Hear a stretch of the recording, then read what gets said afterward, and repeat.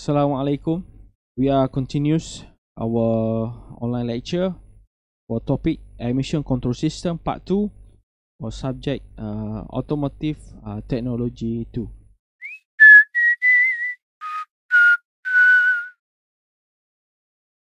In this subtopic, uh, we are going to learn about type of emission control system. Uh, from previous video, uh, you can see that uh, we know I explained about the uh, type of emission, emission source of emissions. So in this in this video, I'm going to share. I'm going to tell about the control system that we have in our our cars. Uh, how our how the existing technology uh, can reduce uh, the emission uh, of the uh, harmful gases in our exhaust. Okay, Okay, this component what we call catalyst converter. Catalyst converter, the device is located in the line with the exhaust exhaust system and is used to cause the desirable chemical reaction to take place in the exhaust flow. Uh, the location is from the exhaust manifold. Eh? Maybe uh, on on the uh, underbody you can see all the pipeline system uh, after the exhaust manifold there is catalytic converter then they go before uh, muffler and also the tailpipe. That's the location of the catalytic converter. And then point number two the catalytic converter is used to complete uh, the oxi oxidation process for uh, hydrocarbon and carbon monoxide nitrogen oxide eh, back to the simple simple nitrogen and carbon dioxide okay this is the diagram uh, the actual uh, location of the catalytic converter. Uh, what we what you can see is uh, from the uh, exhaust manifold. And muffler this is the exhaust manifold. Go through this one this one what we call bellow. Bellow is like uh, adjustable adjustable pipeline.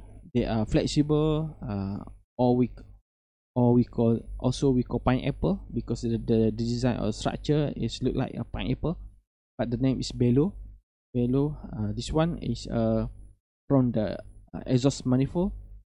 And then they are straight to the catalyst converter and then uh, go straight to the uh, muffler tailpipe. And this is the location of the catalytic converter. Okay the function is from the combustion chamber uh, the exhaust the uh, the incomplete uh, combustion can can produce nitrogen oxide carbon monoxide and hydrocarbon. Eh these three uh, or sulfur eh uh, which is a sulfur oxide these uh, four gases will be uh, go through the catalytic converter and the the reaction the chemical reaction happen here until uh, they are produce uh, a complete combustion which is the final product is H2O uh, the, the water and CO2 carbon monoxide carbon dioxide and nitrogen oxide. Uh, this these three element uh, is not harmful to our environment and also uh, not harmful to our health. Okay? That this that's the function of a catalytic converter. Okay next what we have here is exhaust gas exhaust gas recirculation system EGR uh, this is the picture. You can see the valve here. Uh, the function is is designed to reduce the amount of oxide, uh, oxide uh, nitrogen oxide uh, to reduce the amount of nitrogen oxide created by the engine during the operation uh, that usually result when uh, high combustion temperature. Whenever uh, the temperature is increased in combustion chamber so the numbers uh, the volume of nitrogen oxide is increased. They are this, the function is to reduce to reduce uh, the engine temperature. So uh, automatically the the volume of the nitrogen oxide will decrease. Okay point number two uh, nitrogen oxide is formed in high concentration whenever combustion temperature exceed about two, 2500 uh, Fahrenheit uh, 2500 which is high temperature. EGR uh, operation and condition okay high EGR flow is necessary during the cruising uh, mid-range acceleration is in, this uh, in this condition uh, the engine temperature is, is right. The low EGR flow is needed during the low speed and light load condition. Low EGR, okay. If the temperature is high, so high EGR flow uh, operation uh, system take take place, and then when uh, low speed and light load condition, low EGR flow uh, needed into the combustion chamber. Or no EGR flow should occur uh, during condition when EGR operation could adversely affect the engine operation efficient. While, uh, for example, engine warm, uh, we start up the engine, so th there is no EGR valve, there is no EGR flow. Or during idle, for traffic light, eh? or or wide open throttle, so there is no uh, EGR flow. The operation during the high speed acceleration or during a low speed. So during idle and warm up, there is no uh, EGR flow uh, into the combustion chamber. Yes, that, that is the operation. Okay, there is uh, three uh, component in the EGR system. Uh, one uh, actuator, uh, the control valve. Here, what we have here, EGR valve, EGR, EGR vacuum uh, modulator or assembly modulator, uh, modulator which is uh, they are in the together with the ECU uh, system. Uh, ECM ECM control vacuum switching valve switching valve whenever uh, a solenoid valve here we can see the solenoid valve the EGR valve when, whenever uh, EGR valve is open. So uh, the they use the vacuum system in the intake the in, in the intake manifold. Okay uh, okay I will explain uh, a little bit about the vacuum how vacuum created in the uh, intake manifold. Uh, for example uh, piston uh, from top dead center uh, from top dead center to bottom dead center and the intake valve is open. So it create vacuum uh, inside the combustion chamber. So if we drain all all the air uh, all the air uh, inside the intake manifold. Uh, flow through into the combustion into the combustion chamber. So uh, if the valve EGR is open so the vacuum itself it will will uh, take will take exhaust gas. Uh, you can see from this is the exhaust manifold. So when whenever the EGR valve is open okay the the the vacuum uh, we allow the exhaust uh, the exhaust gas into the intake manifold from the EGR valve next then we have a uh, positive uh, crankcase ventilation uh, which is PC PCV PCV during uh, during normal operation stroke a small of the of gases in the combustion chamber escape uh, pass by the piston which is what we call here uh, from uh, the previous from the earliest uh, video. We have a uh, blow by blow by gases which is a gas uh, bypass through the through the sail into the crankcase area. So the so the function of positive crankcase uh, ventilation to to absorb all all the blow by gases uh, inside the crankcase area uh, flow into the uh, intake manifold. Okay, because if uh if the blow by gases uh, stay uh inside the crankcase area, it will be contaminant and dilute the engine oil. So the engine oil will be uh, will be sticky uh, will be sticky and can cause uh, corrosion uh, to uh, to the critical part in the in the engine engine in the crankcase area. And contribute uh, to sludge uh, build up uh, sludge okay point number two at the higher engine speed uh, blow by gases increase at the crankcase pressure that can cause the oil leak uh, which is uh, uh, whenever the gas blow by increase in the crankcase area so the pressure inside the crankcase is increased. Then uh, it will cause the the oil pan uh, the oil pan uh, at the at the bottom of the engine will leak uh, engine engine leak uh, the oil will be leak at the seal. So the purpose of the PCV valve to remove uh, these harmful gases from the crankcase before damage uh, occur. So the damage occur okay you can see the diagram here. Engine not running uh, the situation station 1 is engine not running so PCV valve is closed. During normal operation uh, during normal operation PCV valve is open and vacuum passes is large.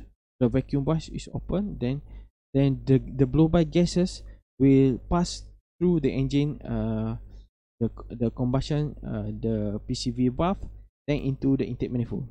During accelerating and acceleration of high load PCV valve is fully open because the the gas the uh, volume of uh, blow by gas is increasing in the crankcase so the PCV valve will open widely to take all the blow by gases out from the crankcase area. Okay you can see you can see the the diagram here. You can see how the PCB PCV system component. First we have a PCV valve in here. Okay this is the PCV valve. Uh, we have the PCV push hose push hose eh, in the arrow in the arrow uh, green arrow. And then breathing breather hose. Uh, breather hose uh, it's like breather hose it's like uh, the the pipeline uh, from the crankcase okay this is uh, the diagram. I show how the pcv uh, system uh, functioning. Next evaporative emission control or EVAP EVAP system.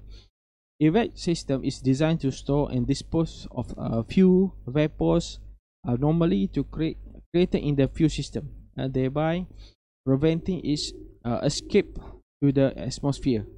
Uh, okay I will explain later okay point number two. EVAC system deliver this uh, vapor to the intake manifold to be burned with a normal fuel uh, mixture.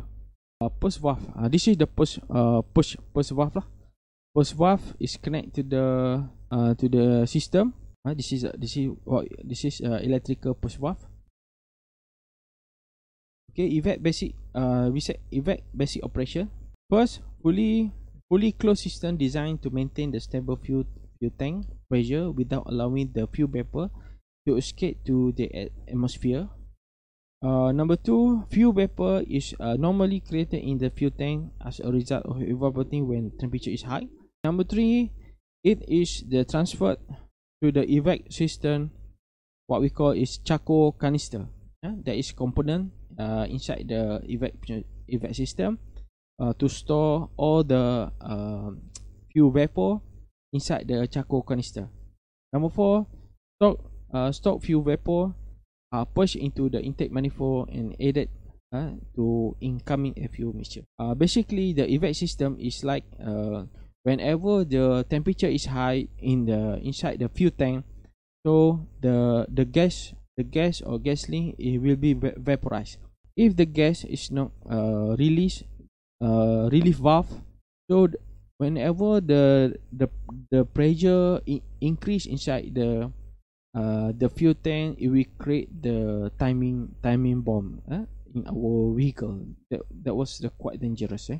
so to be able uh, this system uh, to be safer we need to have uh, what we call relief valve or in this system we call the evac system to allow the exit uh, pressure or fuel vapor to uh, uh, to get out from the uh, fuel tank.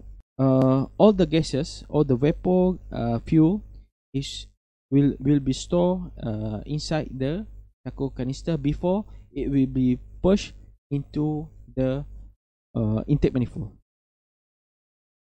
Okay there is two type of evap there is type of evap which is conventional evap non AC non ECM controlled uh, vapor intake with uh, thermo vacuum valve what we call TVV thermo thermo vacuum valve. You can see here this is the check valve uh, which is or fuel cap uh, fuel tank cap here. Uh, this is the uh, the the place where we fill fill up the the gas. This is the fuel tank. Uh, whenever temperature increase the, the the pressure is increased developed by uh, the the increases of uh, vapor uh, fuel so the vapor fuel will flow through this this pipeline into uh, this charcoal canister. Here what we here is component what we call a charcoal canister. You can see the uh, the uh, the small line here is a, a fuel vapor a fuel vapor and the darkest or uh, fresh air. The darkest line black line here is the fresh air or when the car is uh, driving uh, during during the hot uh, temperature and sunny day. So the the fuel the fuel vapor will increase and flow through the charcoal canister. Whenever the TVV is open eh, whenever TVV is open is controlled by a vacuum inside the vacuum inside the intake manifold. So all the gases inside the charcoal canister will be pushed huh? will be pushed you can see here from at the bottom uh, from charcoal canister is the is the hoist hoist uh, openly uh, to allow uh, outside air flow inside the charcoal canister all together with the vapor fuel through the TVV and they are flow straight away into the intake manifold eh? then all the gases will be pushed uh, into the combustion chamber uh, there is no uh, waste uh, here lah. this is uh, the how the TVV uh, evac type 1 uh, operation okay we see uh, type of evac uh, controlled by ECM um, electric electric control uh, electronic control module which is uh, uh, using the uh, co electrical component uh, what we call here a control evap system with vacuum switching valve VSV okay here from air cleaner uh, from air cleaner uh, from air clean uh, from air cleaner and the from fuel tank. From fuel tank whenever uh, the fuel vapor is developed they are will be stored inside the charcoal canister. And then when the VSV identify uh, they uh, they receive uh, the or they receive the order from the ECM to open the VSV the valve. So uh, the air from the air cleaner will push all all the fuel vapor inside the charcoal canister straight into the intake manifold. Uh, the the okay uh, the difference between these two operation is uh, one uh, one using a conventional which is uh, which is uh, using a vacuum system. And the other one is more precise uh, using uh, electrical component uh, which is VSV and and the other component okay this is the difference between two type of evap next. Okay this uh okay uh, for the Ford system secondary air injection system uh, point number one more than 80% of the emissions uh, produced in the driving cycle are generated uh, directly after the cold start of the gasoline engine because the uh, interface of the cold catalyst uh, converter does not yet uh, deploy an exhaust gas cleaning effect. Okay? We I will I will read first then I will explain to you how how the system works. Okay point number two this is this is the point where the secondary air system come uh, which initiate oxidation of the unburned uh, hydrocarbon by injection of a secondary air into the exhaust gas uh, manifold. Okay this is the component. This is the component uh, this is controlled by uh, ECU okay okay what we see. Okay diagram we see the diagram. The function is to reduce the level of emission inside the exhaust system.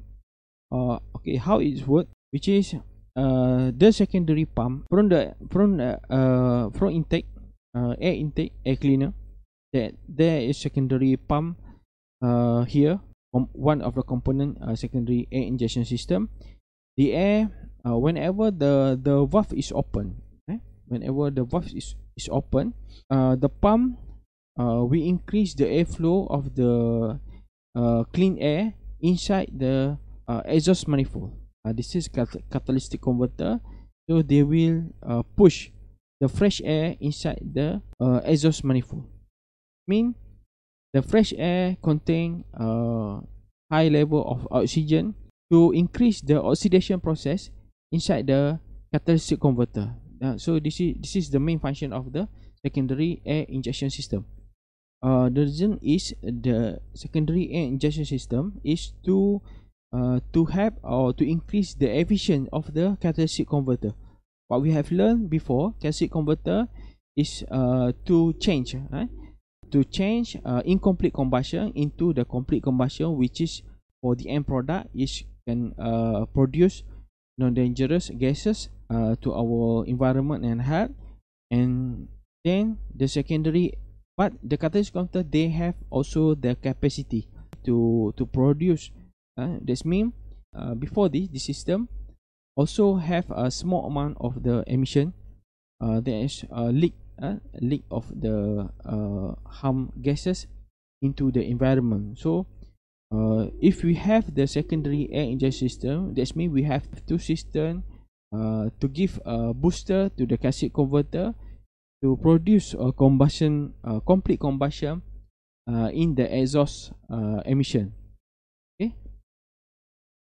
And then next a quick assessment uh, 3.3 uh, I need you to sketch and upload to uh, sketch and upload uh, to the Google Classroom. What you need to sketch sketch a diagram label and explain for that topic selected. Okay in this video we have a four uh, four system co control system for uh, exhaust gas emission. So uh, all you need to do is select any any system is only one system. You need to sketch up and label uh, an explanation about the system and then you take a photo scan and upload to the google classroom. And don't forget title q qa 3.3 uh, full name and registration number. Uh, this is for for your attendance uh, if you complete uh, all three assessment uh, quit 3.1 3.2 and 3.3 then i will consider your attending your attendant uh, because you are you are doing some assessment uh, complete all the assessment for your for your attendant. Okay? Uh, that's all. Uh, thank you. Assalamualaikum